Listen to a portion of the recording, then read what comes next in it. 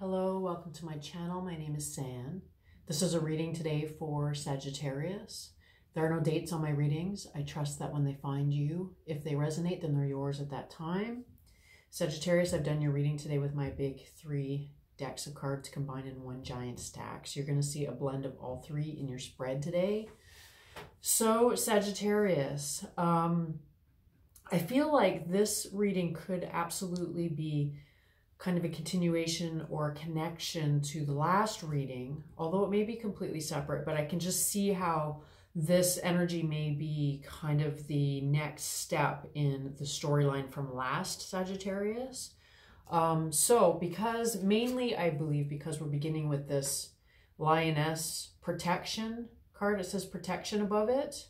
I'm seeing this as you, Sagittarius, in um, a stance of protectiveness or defensiveness or guardedness. And if you remember the last Sagittarius reading, it was about somebody that kept coming at you and coming at you, and you had to really turn away from them and be very vocal about not wanting, not allowing them in, setting your boundaries really firmly. So that could be, like I said, a pickup from the last reading, um, or this could be completely standalone. It's talking to me about Sagittarius. You are in a place um, right now that is actually really feeling pretty good and you're not wanting anybody to mess with it pretty much is the feeling that I get. It's like maybe maybe you've just arrived in that good place and so it's like you're not yet established in that stability or balance long enough that you feel you can be open to others influence because it feels like you finally found relief or you finally found balance and you're not you're not wanting to risk it. It's like you're protective of it. That's what i'm getting from that. Um and the reason that i'm saying that is because these two cards here growth and the two of air are looking to me a lot like you reaching for clarity reaching for um it feels to me like a really healing process that you've been in recently, Be, especially because both of these figures are with their head. Well, this one has her head down. This one has her back to us. So I feel like this is very much almost like a hermit mode type energy where you've really had to turn your focus in on yourself and deal with your own growth, your own clar- finding clarity, regaining clarity is what it feels like to me it feels like one of those phases where everything is put on hold. It's like I said, it could be really a heal, could be a really physical healing process because of this nine of earth coming next. I'm I'm wanting to say about this that this could almost be like an illness that that you have been struggling to recover from to the point where you have you know it's it's pretty much stopped your daily life and you've had to just cocoon and heal and turning away from the outer world or you know even your friends and family you could have been spending a lot of time on your own is what i'm seeing. Whether or not that's the case whether it's actual physical illness that you're recovering from it could just be an emotional healing. Um, this card here usually talks to me about clearing out other people's junk from your energetics, from your aura, right? It's like the space around you is your aura, but it's all gunked up and muddy, you know, and you're actually feeling really cloaked and blinded, which the Two of Swords talks about as well. This is the Two of Air, Two of Swords, talks about, you know, not seeing clearly, having the blindfold on, have being at a crossroads and not knowing what to do because of lack of clarity. So there's some of that coming in here, but it's like lack of clarity because other people's junk has gotten in your way. You've been dealing too much with other people's stuff, other people's influences, other people's opinions, maybe. But I'm also, like I said, I'm really getting for some of you that this could actually be a, a physical illness because sometimes this to me almost looks like virus. You know, those little petri dishes when they study viruses in a petri dish. That's what those look like to me. These little, because they're, because it doesn't look healthy to me, basically, this card, which is really interesting because the Nine of Pentacles has a very different message, but this Nine of Earth card always talks to me about just junk and clutter that is is imposed on you by other people. So that's what I'm talking about. It's like you've really been working through a process of clearing something, either a physical illness or other people's stuff, or just moving out of a situation that wasn't healthy for you and then having to heal because of it. And it's like, you know, with this horse card coming next, it's like you finally have had your breakthrough recently, is what it looks like to me, Sagittarius. So you've moved from this really muddied, gunked up, you know, not feeling good at all energy, put in the time, the work, the effort. I feel like you had no choice. You've done the work and now you're coming out the other side. You've you've reached the light at the end of the tunnel, the breakthrough moment with this horse. And that's kind of where we're starting this reading here is in this state stance of protectiveness because it's like you've just broken through. You've just finally gotten free of this and it's like you're not you're not wanting anybody to touch it. It's like your own pure, refined energy, your energy finally return to your free of influence energy. If you see what I'm saying, if this is all other people's stuff surrounding you, weighing you down, it's like that's that is what you're breaking free of finally. So, but the the message here seems to be Sagittarius that in this breakthrough it could be that it's just so new. It could be one of those like you've been really sick for a long time. I'm thinking of my sister. I often mention her in the Sagittarius readings. She has been sick for quite a while, for most of January. And it's like finally feeling better. And you go back out into your life and you almost feel really raw and exposed because, you know, you haven't been in the light of day for a while or you're feeling like you're still not quite strong enough to be exposed again, but you are because you're because you're well again. You have you have found your clarity and wellness. And so you are moving back out into the world, but it's like you feel like um it's almost like an an extra sensitivity about any energy that's pointed in your direction. Like I said, feeling like a raw nerve, feeling really exposed, you being this figure here in the foreground, you know, venturing out, but maybe a bit wobbly, hesitant, protective, um, and, and right away feeling other energy and it being uncomfortable to you, perhaps. It's like you're, you're not wanting, you're not wanting, and you just, you want to, it's like this has been such an evolution and return to health or clarity for you that you're just you're it's almost like you're holding off any new experience or new energy for a time because it's like you just want to be comfortable in this it's like you just you just got out of it you just broke through you're not ready basically you're not ready so these two cards here, really beautiful message coming through these, love and the orcas. It's coming through as, you know, you see both of them, these sleeping figures. This is what I'm, I'm saying. It's like you've just kind of hunkered down and been through a healing process. You may have been sleeping a lot, right? And what I'm seeing here is with all of this, this animal energy um, presenting itself to you, it's like this is talking to me about the healing that you've been receiving.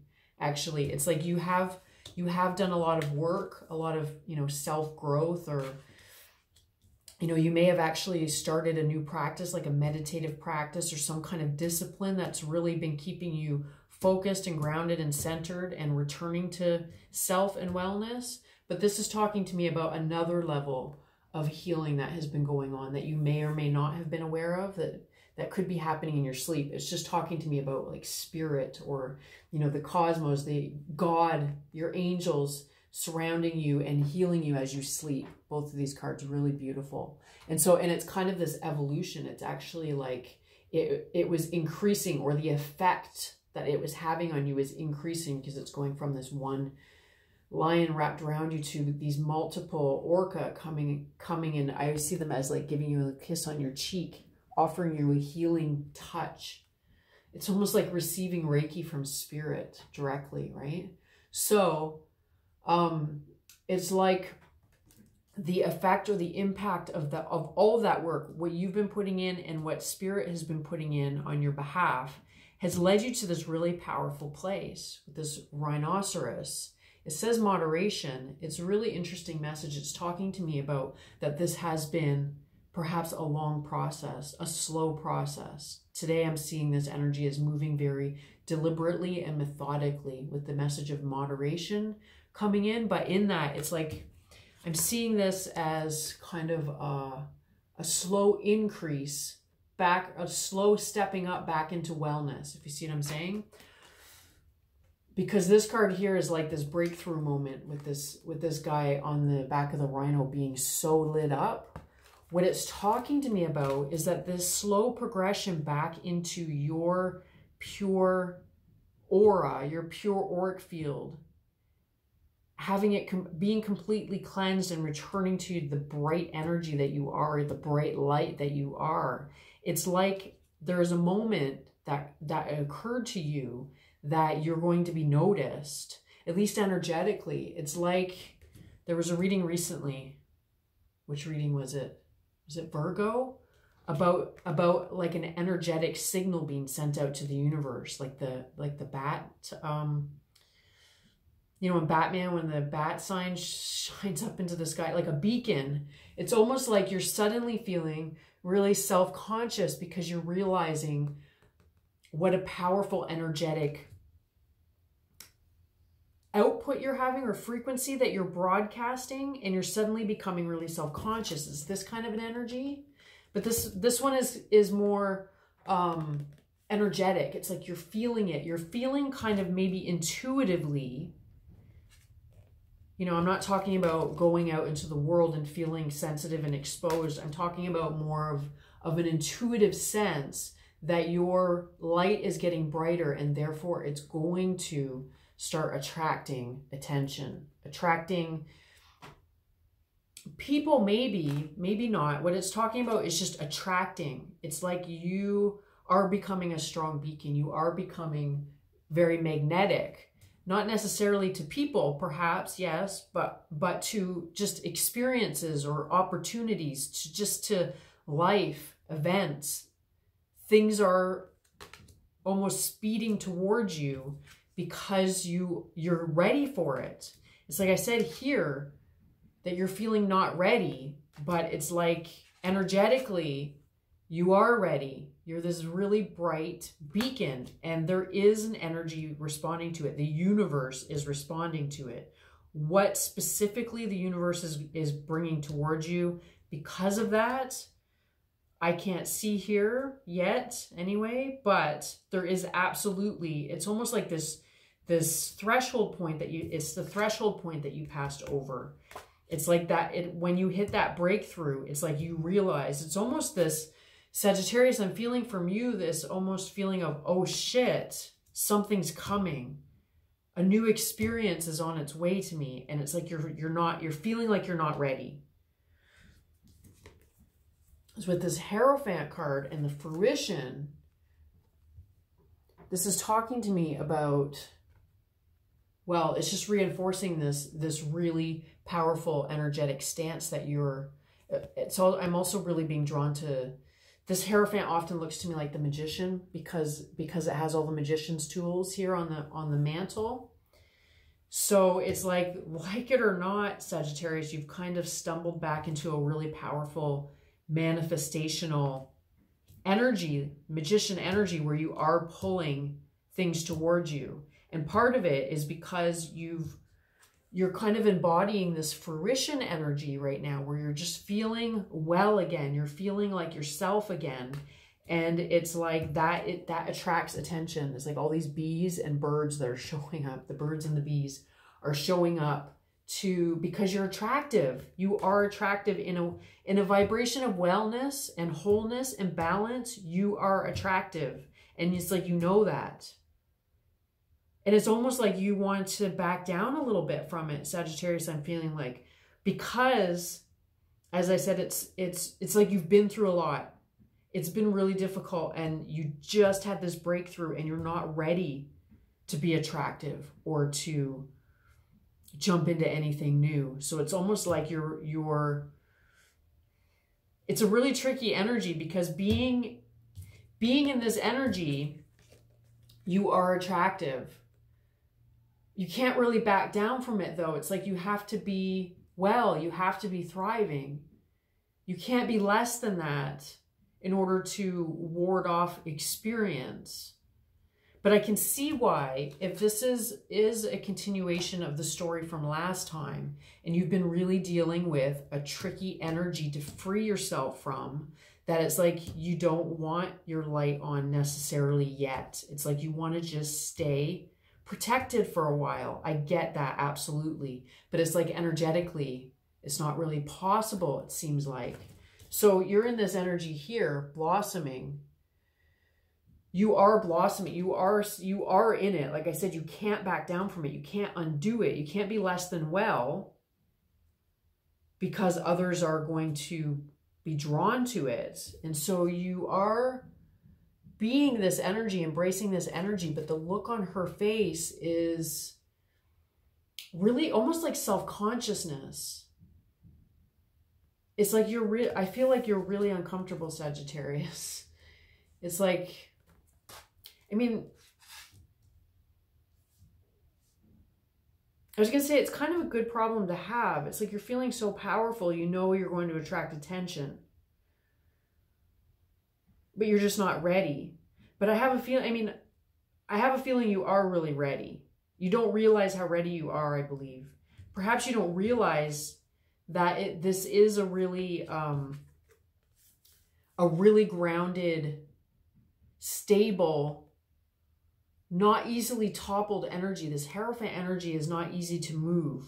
And I feel like maybe you're feeling, you're not feeling that specifically because you've just gotten here, you've just arrived here, and you don't realize the stability within it, right? I think this is a really new place for you, Sagittarius. You haven't been in this kind of a, I mean, of, of course, you've been in wellness and lack of wellness throughout your lifetime, but there's something really specific about this last cycle, especially if it ties into the last one where that where that energy kept coming at you, kept coming at you. And I believe that I did say in that reading that it was finally overcome for the final time. It was overcome. And then it's like, this is talking about, and because of that, because it had finally been expelled from your life, you moved into a process of healing finally and coming out the other side in this in this breakthrough moment this is a new breakthrough. It is not like that cycle before. So what i'm saying it's a completely new realm. So you haven't been in this specific energy before. This is new to you which is part of what's going on here. It's like you're getting used to that. But you can also feel how powerfully attractive you are. So you're you're doing your thing you're you're are fully aware that your energetic vibration is being broadcast out to the universe but it's almost like you're you're almost trying to hold it back a little bit sagittarius is what i'm feeling and I'm going to continue to pull cards to create an extended. I have a really strong feeling that that you know the guidance and the cards is just going to say Sagittarius, don't hold back. Just be yourself. Be amazing. You know, shine your light. Be gorgeous. Don't be concerned about what arrives because first of all, it's not what comes next won't resemble your past because you're in a new energetic state and so that will attract new experiences. And secondly, that generally you should expect that what comes in will match your energy. Generally. I'm reluctant to say that with a really authoritative stance because I've experienced I have experienced otherwise. We won't get into that right now, though. So we'll just leave it at you're in a gorgeous place and what is coming next. Although you, I mean, you have free will and you can absolutely hold off the next chapter for a while if you need to. That's absolutely appropriate, your choice. But I, I have a feeling the guidance in the cards next is going to say, you have nothing to fear, Sagittarius, because you're in a really powerful energy and what is coming next will not be like what you just left. It cannot be. You have completely transmuted that energy, so it cannot be again. So, I'll continue to pull cards, create an extended, and I'll see you next time. Thanks. Bye.